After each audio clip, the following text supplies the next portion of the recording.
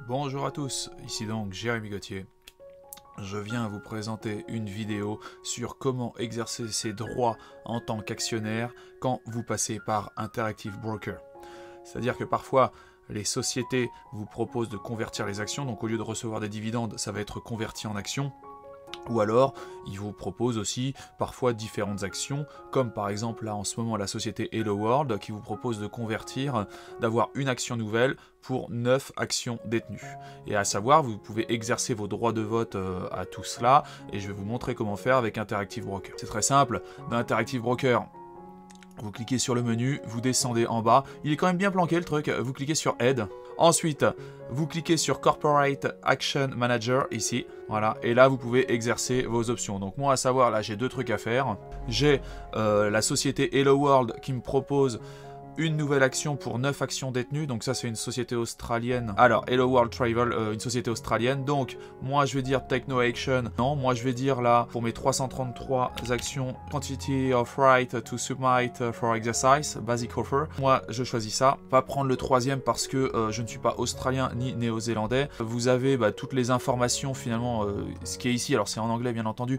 Mais vous avez toutes les informations qui vous soumet le truc. Sinon, vous pouvez directement aller sur le site, par exemple, d'Hello World. Il faut aller sur site de la compagnie et dans les, annonces pour les actionnaires, en général, il y a tous les détails exacts pour euh, justement être au courant de tout ça. Moi, je mets ça, donc vous voyez, vous mettez ça. Donc là, il dit, vous voyez, le pourcentage que je n'ai fait aucune action. Donc là, j'en mets 333. Votre allocation va maintenant être sauvegardée. Vérifiez vos instructions attentivement et confirmez en cliquant sur oui. Vous mettez oui.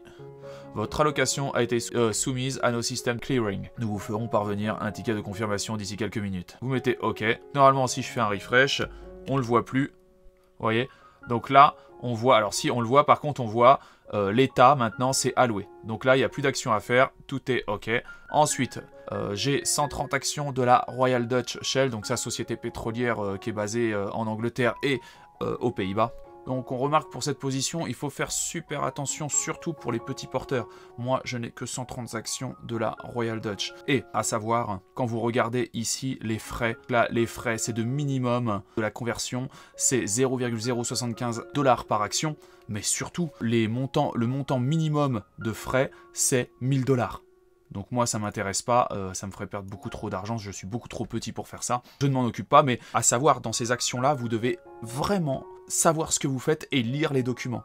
Parce que vous cliquez, là j'aurais cliqué, j'aurais mis 100%, j'aurais cliqué, c'était moins 1000 dollars direct. Donc ça, il ne faut pas s'en occuper, même si parfois le, finalement le, truc peut vous faire gagner de l'argent ou peut vous apporter plus de sécurité suivant le, le type de droit à exercer en tant qu'actionnaire, faites bien attention aux frais qui, sont, qui en découlent. Alors ici, vous pouvez voir Choice Actions. Donc là, ça veut dire c'est les choix que vous avez déjà fait.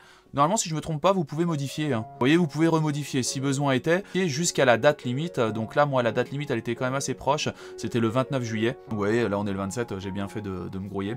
Donc là, les actions passées. Donc là, les actions mandataires. Ok les conversions. Donc là, c'est les conversions qui peuvent se faire, auquel ça dépend. Euh, donc les conversions, parfois c'est intéressant, parfois ça ne l'est pas. Lisez bien les prospectus, sinon vous risquez de perdre un sacré, une sacrée part en capital. Voilà, j'espère que je vous ai aidé.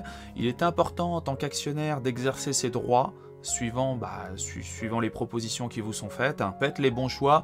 N'hésitez pas à en discuter avec des professionnels sur les forums euh, de finance, euh, surtout avec des, gens qui n'ont aucune partie pris euh, dans le, pour savoir quel est le choix en tant qu'actionnaire le plus rentable de convertir ses actions, de, de les laisser, de toucher les dividendes en cash plutôt qu'en... En tout cas, les actions sur Interactive Broker se font ici. Je vous souhaite une excellente journée et j'espère que j'ai pu vous aider.